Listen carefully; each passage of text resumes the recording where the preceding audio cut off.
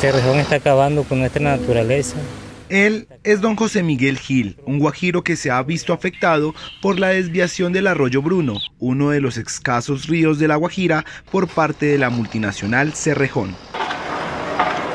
Desviación de 3.6 kilómetros del arroyo Bruno por parte de dicha multinacional. Mira, la multinacional quiere desviar el arroyo para extraer el carbón que yace bajo su lecho desconociendo la importancia que tiene esta, esta vena, por así decirlo, el río Ranchería para la conectividad y para el acceso al agua de comunidades, plantas y animales.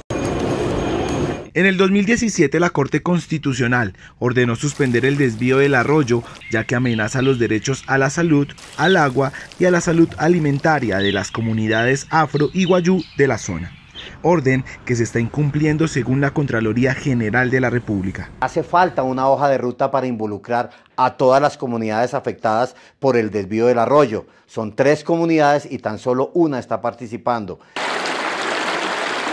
Además, evidenció que la garantía de los derechos al agua establecido en la sentencia SU 698 de 2017 se están violentando, problemática que fue notificada a la Corte Constitucional tiene que ver con algunas deficiencias de carácter técnico en los estudios que soportaron la viabilidad del desvío del arroyo. Esto afecta directamente esos derechos que fueron amparados a las comunidades, sobre todo el derecho al agua y el derecho a la seguridad alimentaria. Un daño irreparable para esta comunidad.